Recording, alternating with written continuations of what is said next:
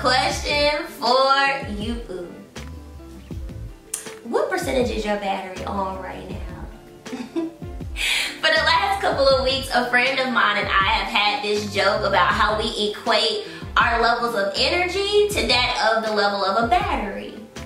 You know how like an iPhone gives you this warning sign where it's like, hey, you at a 20%, you at a 10%, and I'm I'm just speaking for iPhone. I don't know about the Androids, but you know, we get these warning signs like your battery is getting low. I feel like we get those same signs with our body when our energy is getting low and it's time for us to recharge. As we continue aging, it's so important for us to take note of the warning signs that our body is giving us about our levels of energy.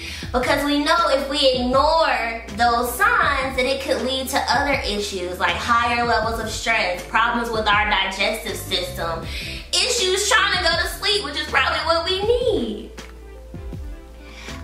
Understand that with life, we get these long to-do lists of things that we have to do ASAP. And it can get overwhelming just moving through and we say, oh, I gotta push through, I gotta push through, because sometimes that's required.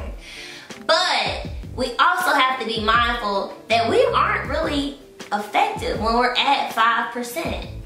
So in those moments, it's like, you know what, wait, I gotta stop what I'm doing and I just need to sit here in silence for five minutes or I need a 30 minute nap because that's my go-to.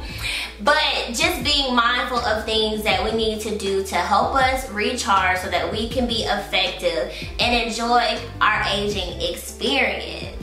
So tell me, as you continue aging, what are some things that you believe will help you recharge? Let a girl know, cause I'm sitting up in my room.